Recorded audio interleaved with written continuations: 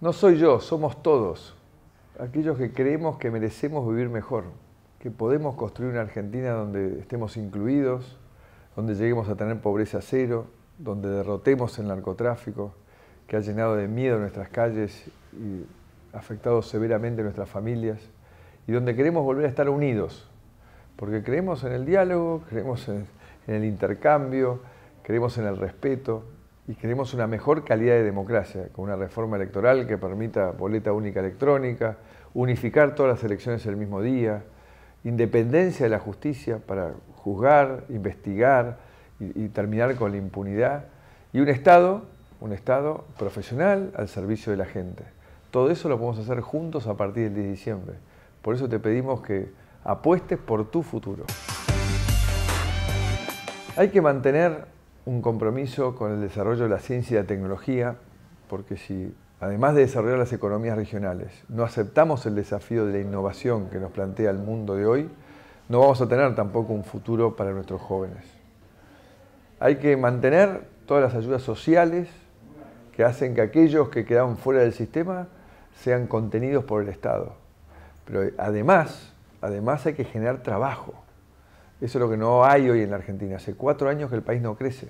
Cuatro años que no se le da una oportunidad. Y mucha de esta gente que está recibiendo un plan lo pensó que era por, un poco tiempo, por una, por una transición. Y lleva años, algunos una década, sin que se les haya dado la oportunidad de volver a ser parte de una Argentina que crece y progresa.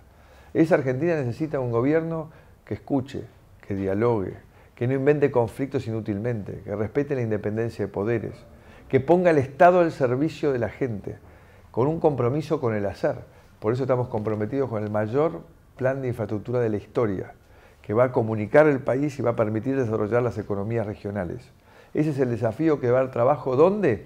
En cada ciudad del país, para que no más la mayoría de las ciudades expulsen a sus jóvenes por falta de oportunidades. Esa es la Argentina en la que creo, por eso estoy acá frente a vos, en la que quiero que vos te entusiasmes y creas que lo vamos a hacer posible porque depende de nosotros.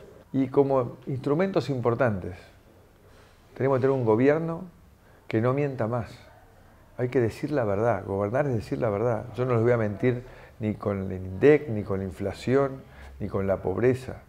Un gobierno que baje la inflación a un dígito, que combata el trabajo en negro, que elimine el impuesto a las ganancias de los trabajadores, que genere el plan primer empleo que va a permitir que todos los jóvenes en sus primeros cinco años de trabajo no paguen ni cargas ni la empresa que los contrata. Eso es la Argentina que crece, esa va a ser la Argentina que le dé oportunidades a todos de progresar y vivir en familia.